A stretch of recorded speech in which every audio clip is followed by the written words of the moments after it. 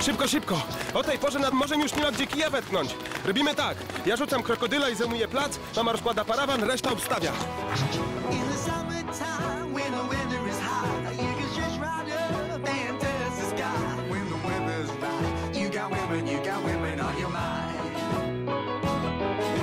Zaznaj miłej odmiany. Zarezerwuj z Rainbow już dziś rodzinne wakacje na jednej ze słonecznych plaż. Teraz w Rainbow super rabaty.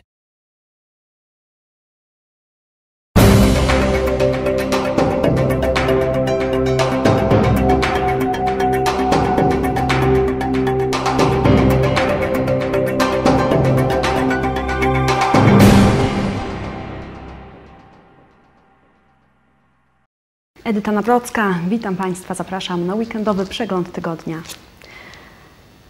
Niektóre nazwy wałbrzyskich ulic zostaną zmienione. Koszty administracyjne tego ustawowego obowiązku poniosą samorządy, jednak mieszkańcy będą zmuszeni wymienić dokumenty dopiero wtedy, gdy obecne stracą ważność.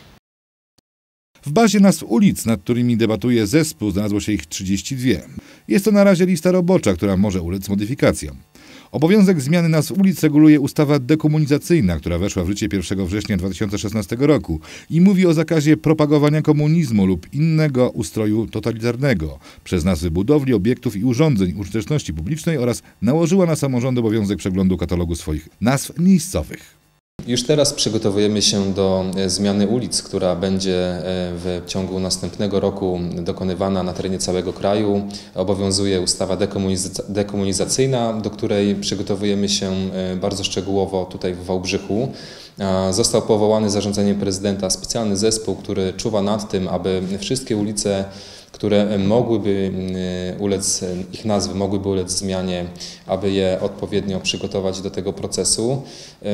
Jesteśmy w kontakcie z instytucjami państwowymi, z Archiwum Państwowym, z Instytutem Pamięci Narodowej. Zespół, który spotkał się organizacyjnie już pod tym kątem, wysłał stosowne zapytania do obu tych y, instytucji.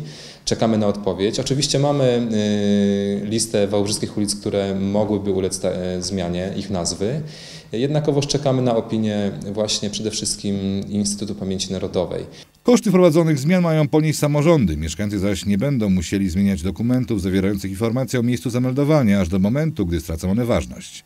Z kolei nowe dowody osobiste nie poddają takiej informacji, nie będą zatem musiały być wymieniane. Jeśli chodzi o mm, wydatki czy też finanse, mm, koszty związane z tymi e, zmianami, to mamy taką nadzieję i ustawodawca to zapewnił, że nie będą one ty- tyczyły się e, mieszkańców.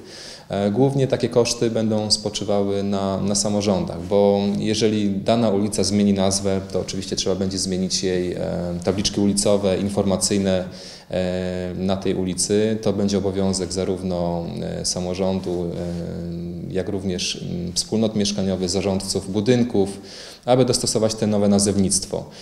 Jednocześnie pamiętajmy o tym, że będzie musiała być dokonana zmiana w rejestrach, we wszelkich rejestrach informacyjnych, takich jak na przykład wypisy i wyrysy, jak e, mapy geodezyjne, jak księgi wieczyste, a więc wszędzie tam, gdzie nazwy ulic pojawiają się w dokumentacjach. To będzie duża praca organizacyjna, przede wszystkim dla urzędników. Nie wiadomo jeszcze, jaki będzie sposób wybierania nowych nazw ulic, które objęte są modyfikacją. Na pewno będzie to jednak związane z konsultacjami społecznymi. Na polecenie prezydenta Wałbrzycha Romana Szoemeja został powołany zespół do przygotowania zmiany nazwy budowli, obiektów i urządzeń użyteczności publicznej, w tym dróg, ulic, mostów i placów, upamiętniających osoby, organizacje, wydarzenia lub daty symbolizujące komunizm lub inny ustrój totalitarny. Skład zespołu zajmującego się zmianami ulic można znaleźć na portalu wałbrzych24.com. Na portalu również nazwy 32 ulic, które zostaną zmienione. Rozpoczęły się prace związane z remontem wiaduktu kolejowego nad ulicą Wieniawskiego. Inwestycja ma zakończyć się jeszcze w tym roku. Choć przewozy osobowe na linii Wałbrzych-Szczawienko-Szczawno-Zdrój nie są już realizowane, to linia jednak nadal przeznaczona jest do przewożenia węgla przez zlokalizowane niedaleko zakłady PEC. Inwestorem jest PKP PLK. Zakres prac remontowych jest dość szeroki. Tam zostały przeprowadzone prace odwodnieniowe, zbicie tych e, luźnych, e, słabo trzymających się fragmentów tych spoi, no, te, te, tego wykończenia tego wiaduktu. Przeprowadzono klamrowanie, spoinowanie i torkretowanie i te prace potrwają yy, do końca roku. Na czas remontu droga nie zostanie zamknięta, czasowo będzie jednak wyłączony jeden pas ruchu, jak w tej chwili. Wprowadzono także zakaz ruchu pieszych po jednej stronie drogi. Prace są dość kosztowne. Koszt tego jest yy, przeszło milion sto tysięcy złotych. I co, co więcej, on będzie na tyle wzmocniony, bo, bo tam, tam e, ruch towarowy się odbywa, tam e, bodajże zaopatrzenie węgla jest do elektrociepłowni, także cały skład pociągu będzie mógł wjeżdżać bez skracania na, na ten wiadukt. Remont jest konieczny. Przypomnijmy, że pod koniec kwietnia z wiaduktu odpadł fragment betonu, który spadł na ulicę z kilkunastu metrów. Na szczęście nikomu nic się nie stało, ale czasowo przejazd pod wiaduktem został zamknięty. Cudem udało się uniknąć tragedii. Gdyby pod wiaduktem przejeżdżał wtedy samochód, mogło dojść do nieszczęścia. Bogdan Ząbek z zespołu prasowego PKP PLK zapewnia jednak, że po zrealizowaniu zaplanowanych prac remontowych poruszanie się pod wiaduktem będzie bezpieczne. Ruszają prace związane z przebudową dworca Wałbrzych-Szczawienko. Inwestycja pochłonie około 4,5 miliona złotych. Gmina Wałbrzych przejęła budynek dworca Wałbrzych-Szczawienko wraz z terenem od Polskich Kolei Państwowych w grudniu ubiegłego roku. Zagospodarowanie terenu ma opierać się koncepcję Park and Ride. Jest to pomysł oparty na koncepcji parkowania samochodów na dużym podmiejskim parkingu. Kierowcy pozostawiają auta i przysiadają się do komunikacji zbiorowej. W przypadku Wałbrzycha chodzi głównie o pracowników pobliskiej Wałbrzyskiej Specjalnej Strefy Ekonomicznej, ale też o osoby dojeżdżające do pracy do Wrocławia. Już w najbliższy czwartek e, rusza budowa dworca Wałbrzych-Szczawienko, właściwie przebudowa, kom, kompleksowa rewitalizacja tego miejsca, e, które z obecnej e, formy zmieni się na miejsce tak zwane park and ride, czyli parkuj i jedź. E, W czwartek ruszają prace związane z termomodernizacją budynku, wymianą dachu, kompleksową przebudową wnętrza, e, czyli remontem całego dworca, jego adaptacją także dla e, obsługi podróżnych. W zakres tych prac wchodzi także przebudowa drogi dojazdowej oraz budowa parkingu i miejsca dla autobusów oraz samochodów. Na dworcu mają powstać także punkty usługowe i hostel, a więc kompleksowy punkt obsługi pasażerów. To, jak dokładnie zostanie zagospodarowana przestrzeń, zależy jednak od najemcy. Naszym celem jest, aby dworzec ten obsługiwał północną część miasta, e, Piaskową Górę, e, Podzamcze, ale także Szczawno-Zdrój, e, po to, aby mieszkańcy mieli łatwy zarówno dojazd w to miejsce, jak i ewentualnie wyjazd do pracy w inne części województwa. Budynek będzie pełnił funkcję głównie obsługi turysty i podró- i podróżnych. Będzie tam poczekalnia, będą miejsca, w których będzie można kupić sobie kawę, herbatę, będą tak zwane miejsca do komercjalizacji, czyli ci, którzy będą chcieli prowadzić ewentualny e, biznes w tym miejscu, również będą mieli taką możliwość. E, Również na pierwszym piętrze e, tego budynku planujemy przygotowanie powierzchni, która będzie komercjalizowana. Czy będzie tam hostel, czy będą tam inne powierzchnie, to będzie zależało od potencjalnego inwestora. Realizacja projektu ma kosztować około 4,5 miliona złotych i zakończyć się w przyszłym roku. Księżycowy krajobraz przy dworcu fabrycznym w Wałbrzychu niebawem zniknie. W planach jest nawiezienie w to miejsce ton gruzu i rekultywacja terenu. Decyzja rekultywacyjna w sprawie zagospodarowania tego terenu została wydana przez starostę Świdnickiego.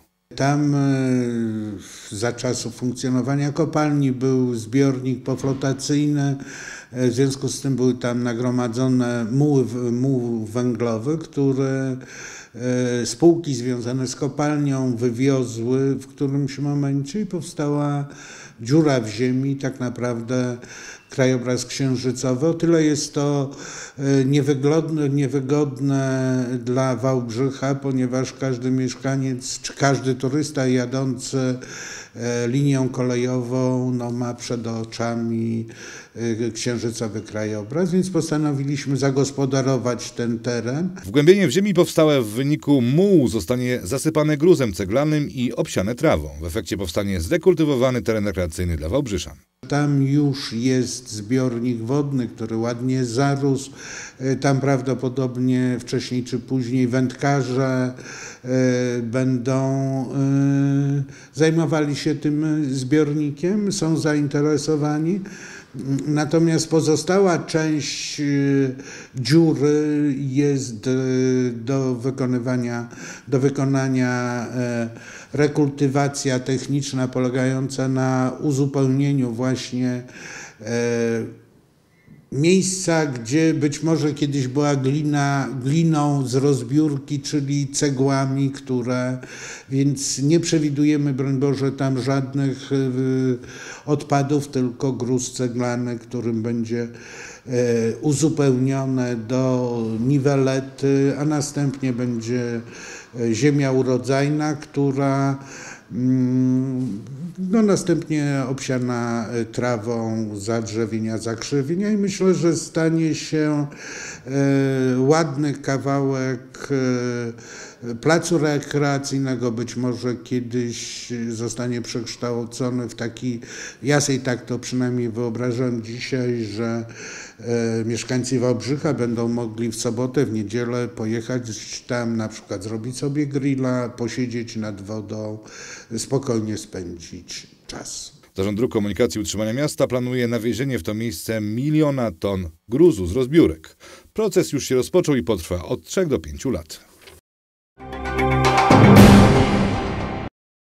Rodzice zmarłej kilka dni temu Marii Kobak składają w wałbrzyskiej prokuraturze zawiadomienie o podejrzeniu dopuszczenia się zaniedbań przez personel specjalistycznego szpitala imienia doktora Alfreda Sokołowskiego w Wałbrzychu.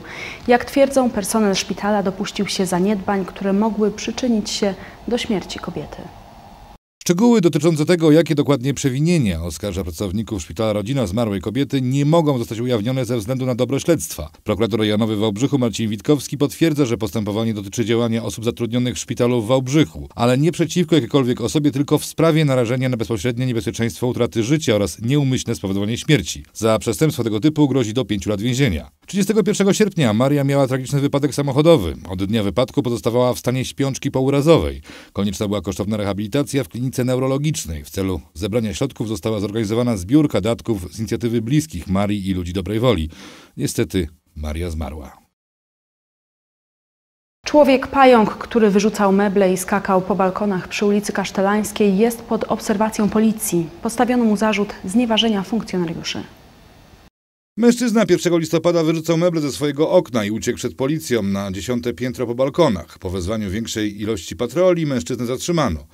Nie była to pierwsza sytuacja w życiu mężczyzny, kiedy musiała interweniować policja. Jeżeli chodzi o ten wyczyn, został mu y, przedstawiony zarzut znieważenia funkcjonariuszy, bo jeżeli chodzi o spowodowanie bezpośredniego zagrożenia dla życia, zdrowia wielu osób, to y, tutaj musi być powołany biegły i, i, i teraz wszystko leży w gestii prokuratury. Mężczyzna po zatrzymaniu znalazł się w szpitalu psychiatrycznym, gdzie stwierdzono, że jest pod wpływem alkoholu. Jest prowadzony nadzór nad tą osobą, jest, jest yy, nie wiem czy prokurator chyba nawet do- dozoru nie zastosował, ale w każdym bądź razie yy, no my jesteśmy no powiedzmy czujni, ponieważ to nie jest pierwszy wy, wybryk tego pana. Kto naraża człowieka na bezpośrednie niebezpieczeństwo utraty życia albo ciężkiego uszczerbku na zdrowiu, podlega karze pozbawienia wolności do lat trzech. Sąd Okręgowy w Świdnicy uniewinnił dwóch byłych policjantów oskarżonych o przekroczenie uprawnień i pobicie ze skutkiem śmiertelnym mężczyzny w komisariacie 5 Policji w Wałbrzychu. Zdaniem sądu trudno jednoznacznie stwierdzić, czy do pobicia doszło w komisariacie, czy po tym, jak mężczyzna go opuścił. Magda Bogumanowicz. Do zdarzenia doszło w sierpniu 2013 roku. Piotr G. został zatrzymany przez policjantów w związku z popełnionym wykroczeniem. Mieszkaniec Białego Kamienia zmarł kilka godzin po opuszczeniu komisariatu 5 Policji w Wałbrzychu. Mieszkańcy Białego Kamienia zgłosili pogotowiu ratunkowemu, że na ulicy leży nieprzytomny mężczyzna. Po przyjechaniu na miejsce ratownicy próbowali reanimować Piotra G., ale bezskutecznie. Sekcja zwłok wykazała, że śmierć nastąpiła z powodów urazowych. Mężczyzna miał złamane żebra i pękniętą śledzionę, co skutkowało krwotokiem wewnętrznym i zgonem mężczyzny. Do sądu trafił akt oskarżenia przeciwko dwóm policjantom, którym postawiono zarzut przekroczenia uprawnień i pobicie ze skutkiem śmiertelnym 35-letniego mężczyzny. Funkcjonariusze zostali zawieszeni, a na początku 2016 roku zwolnieni ze służby. Nie przyznali się do winy, odmówili też składania wyjaśnień. Groziło im do 10 lat więzienia, tymczasem zostali uniewinnieni. Sąd zastosował tutaj zasadę y, wyrażoną w artykule 5 paragraf 2 kodeksu postępowania karnego, która obliguje do y, tłumaczenia na korzyść oskarżonych wszystkich nie dających się usunąć wątpliwości w sprawie, a takowe sąd stwierdził. Dotyczy to przede wszystkim y, stanu nietrzeźwości pokrzywdzonego, który był większy aniżeli ten, w- którym był w momencie, kiedy przebywał w komisariacie, co świadczy o tym, że po opuszczeniu komisariatu gdzieś alkohol musiał spożywać, zdaniem sądu. Powtórę, y, stan y, jego odzieży również y, był inny. Ta odzież była zabrudzona, rozerwana, co świadczyłoby o tym, że gdzieś po wyjściu z komisariatu jeszcze jakieś miały miejsce sytuacje, które doprowadziły do pogorszenia stanu tej odzieży. Wątpliwości zdaniem sądu budzą także rozbieżności w rozmowach telefonicznych, jakie miał odbyć poszkodowany po opuszczeniu komisariatu. Wynikającymi z relacjonowanej przez e, świadków e, rozmowy telefonicznej przeprowadzonej pomiędzy nimi a pokrzywdzonym, w których e, odmiennie relacjonował okoliczności, w jakich miał doznać obrażeń ciała, wskazując między innymi na jednego ze sprawców jako na, tutaj cytuję, grubego, a żaden z funkcjonariuszy takiej postury no, nie ma.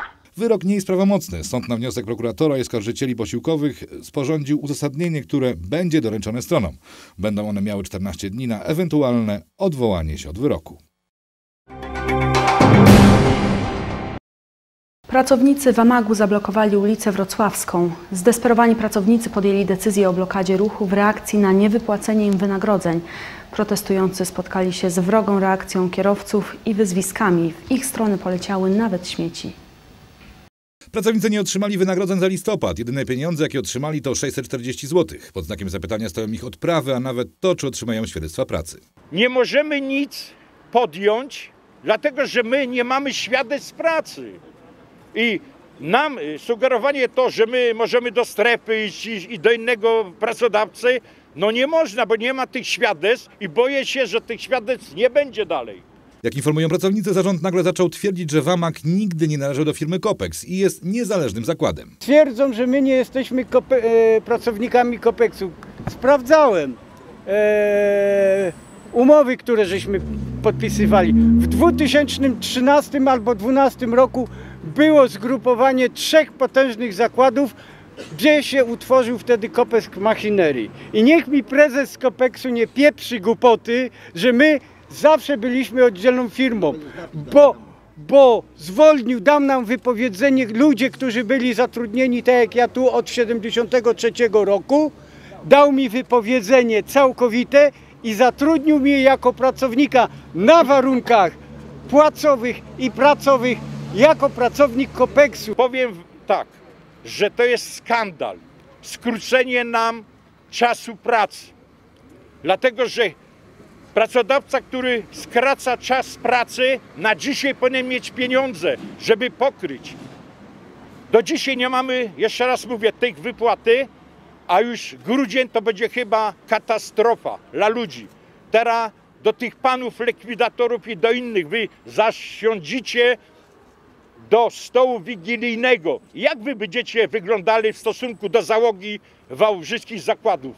W pomoc pracownikom zaangażował się radny Ryszard Nowak, który wysłał list do prezydenta Andrzeja Dudy. Ostatni mój list do prezydenta Polski, pana Andrzeja Dudy, to jest ten list z prośbą, aby pochylił się nad y, właśnie tą firmą WAMAK SA.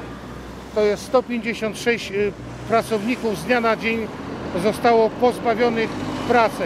Y, w miesiącu listopadzie otrzymali tylko po 300 zł takiej jałmużnej. Są osoby, które są bardzo chore w domu, y, nie mają za co zapłacić, za gaz, za światło, żywność. Stąd jako radny miasta Wa- Wałbrzycha, a przede wszystkim jako człowiek i mieszkanie z tego miasta, jestem tutaj z nimi, y, wyrazić swój sprzeciw, że tak się z ludźmi nie postępuje. Z pracownikami nikt nie chce rozmawiać, nikt nie ma pomysłu, jak zmienić decyzję prywatnej firmy. Solidaryzuję się z Wamagiem, z pracownikami, bo jest to dzień bardzo bolesny. Patrząc no na tych pracowników, bo będąc tutaj już o godzinie 11, widziałem jak ci pracownicy opróżniali swoje szafki. Rzeczy jest to przykry widok. Zbliżają się święta, nikt z tymi ludźmi nie chce rozmawiać, każdy wody w usta nabrał. Dlaczego? To jest zakład z tradycją dwustuletnią. I teraz co? Na bruk potraktowali tych ludzi niegodnie. O dalszej sytuacji pracowników będziemy informować na bieżąco. Czarny protest był tylko początkiem. Komitet Obrony Demokracji wraz ze Stowarzyszeniem Inicjatywa Polska rozpoczął serię dyskusji dotyczących praw kobiet w Polsce pod nazwą Wolne Parasolki. Jedno ze spotkań odbyło się w Wałbrzychu. Dyskusje na temat aborcji stały się pretekstem do rozpoczęcia debaty publicznej na temat ogólnej sytuacji kobiet w Polsce. W obrzyskim spotkaniu oprócz lokalnych przedstawicieli kodu pojawili się także jego założyciel Mateusz Kijowski, Barbara Nowacka, Kazimiera Szczuka, Paulina Piechna-Więckiewicz, Ewa Waszkiewicz i Maria Lempart. Czarne chmury gromadzą się nad Rzeczpospolitą. Trzeba się bronić. Nie składamy parasolek, to jest też hasło protestów kobiecych, bo y, w tej chwili y, no, jedyną bronią ludzi, którzy nie mają władzy instytucjonalnej, to jest samoorganizacja i solidarność. Pokazujemy w jaki sposób mądrze i wspólnie się bronić, bo parasolka to też takie urządzenie, pod którą niekoniecznie tylko jedna osoba może stać, ale która łączy. E, I oczywiście, że się to pojawia też symbolicznie z racji tego, że te pierwsze czarne protesty faktycznie w wielu miastach odbywały się w deszczu, ale to świetny symbol, symbol łączenia, symbol walki. Wiemy też, że parasolkę zawsze można mieć przy sobie, a w razie czego całkiem nieźle się nią obronić. Oprócz głównego wątku, czyli praw kobiet, poruszano kwestię przebudowy i braku młodych ludzi na lewicy. Większość osób podczas panelu dyskusyjnego stanowili ludzie starsi. Temat główny przewodni to jest prawa kobiet w Polsce. Kobieta, ofiara czy beneficjentka. E, Dziś będziemy próbować odnieść się do obecnej e, sytuacji prawnej, jeżeli chodzi o prawa kobiet w Polsce, jak wygląda to od, pod względem ustaw, które są obowiązujące i ich realizacji. E, Oraz będziemy starali się wy- wyciągnąć pewne wnioski, co należałoby obszarze praw kobiet w naszym kraju e, zmienić, ulepszyć, poprawić. Oczywiście, że muszą przyjść wybory, ponieważ e, musimy w sposób demokratyczny e, pozbyć się władzy, która niszczyć próbuje demokrację, niszczyć próbuje prawa kobiet i bezpieczeństwo. I to jest ten cel nadrzędny polityczny. Ale bardzo ważna rzecz, która się dzieje przy okazji, to ruchy społeczne, które wstają, budują się i będą się domagały bez względu na władzę pamiętania o podstawowych prawach i wartościach. Jak twierdzą organizatorzy, zaprosili rządzących do debaty. Jak mówi Cezary Kuriata z Prawa i Sprawiedliwości, nie wpłynęło do nich żadne zaproszenie. No, środowiska rządzące chyba mają, miałyby kłopot y, z uczestniczeniem w protestach, ponieważ protesty są właśnie skierowane ku rządzącym. Więc rozumiem, że rządzący nie protestują przeciwko sobie samym. z arogancji buty władzy, z niechęci do dialogu, z takiej, takiego właśnie aroganckiego przekonania, że oni wiedzą lepiej. Nie chcą usłyszeć, nie chcieli usłyszeć w Sejmie, kiedy mówiliśmy o projekcie Ratujmy Kobiety, nie chcieli usłyszeć na ulicach, musieli usłyszeć tłumy ludzi i dopiero wtedy się wycofali, ale nadal nie wiedzą, o czym są protesty. Gdyby to wiedzieli, myślę, że lepiej by się im rządziło Polską, a i nam lepiej żyło w Polsce. Oprócz Wałbrzycha dyskusje odbyły się także w Jeleniej Górze i w Strzegomiu. Niepełnosprawni, ale nie bezczynni. Z tą myślą zorganizowano 13 Forum Osób Niepełnosprawnych w Wałbrzychu. Dyskusje toczone podczas forum dotyczyły zatrudnienia osób niepełnosprawnych.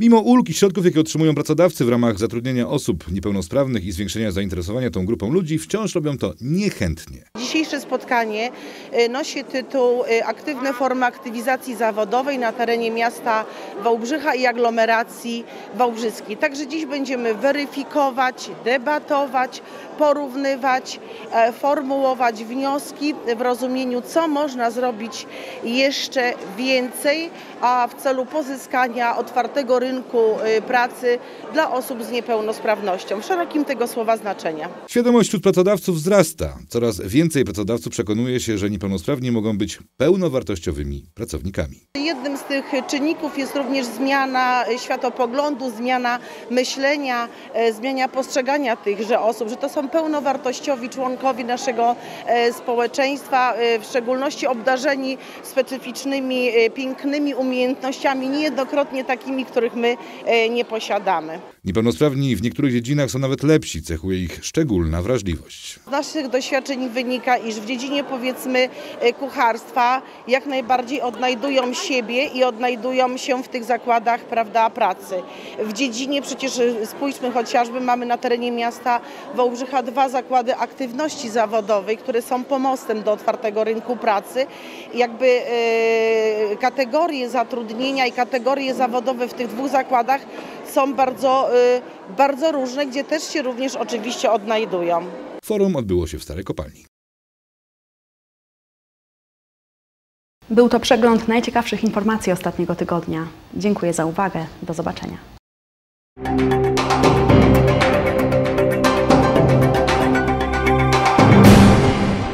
Prezenterkę uczesał salon fryzjerski René, Wałbrzych, Piłsudskiego 50. Nasze serwisy informacyjne i program Gość Dnia również w internecie. www.tvwałbrzych.pl Więcej informacji znajdziesz też na portalu wałbrzych24.com